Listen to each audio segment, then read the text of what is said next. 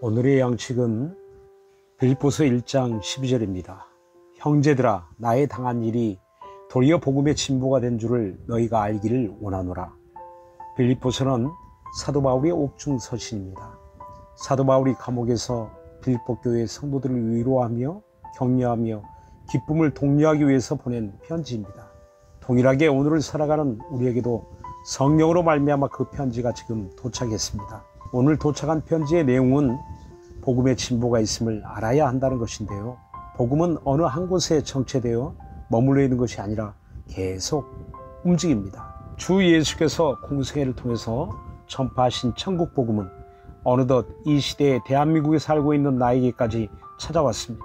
너무나 놀라운 사건이죠. 2000여 년전 갈릴리 마을에서 시작한 예수 그리스도의 복음을 지금 우리가 믿고 하나님을 사랑하는 자가 되었다는 사실이 놀라울 뿐입니다. 하나님 나라는 마치 겨자씨 하나를 같다라고 주님은 말씀합니다. 모든 씨보다 작은 씨이지만 심겨진 후에는 자라서 많은 열매를 맺는 큰 나무가 된다는 이치입니다. 곧 복음은 진보하고 성장한다는 것입니다. 여기서 진보라는 원어의 의미는 마치 군대가 나아갈 때 그 앞에 장애물을 치우고 길이 없는 곳에 길을 내고 다리를 만들어 힘차게 나아가는 것을 말합니다. 복음이 우리 동네와 우리 가정에 들어오면 성장합니다. 가만히 숨겨둘 수 없는 복음이기에 계속 자라가며 열매를 맺습니다. 가정에도 아내가 믿어 남편이 믿고 자녀들이 믿고 형제들과 친척들과 친구들이 예수를 믿게 됩니다. 우리들의 지난 과거가 그렇습니다. 복음의 진보가 있었던 것이죠. 저희 집에 제라늄 꽃 화분이 하나 있는데 참 신기합니다. 처음부터 꽃망울과 꽃이 피어 있는 화분이었는데 수개월이 지난 지금도 계속 꽃망울이 올라오고 핑크빛 꽃이 피어나고 있습니다.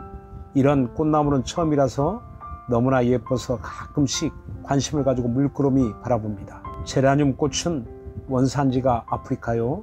다소 건조한 풀밭이나 바위지대에서 자라는 꽃이라고 합니다.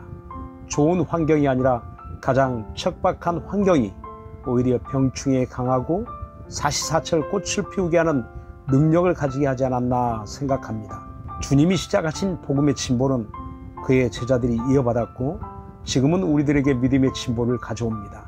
좋은 환경과 조건이 성장과 진보를 이루는 것이 아니라 제라늄 꽃처럼 척박한 환경이 오히려 더 많은 꽃을 피워냅니다.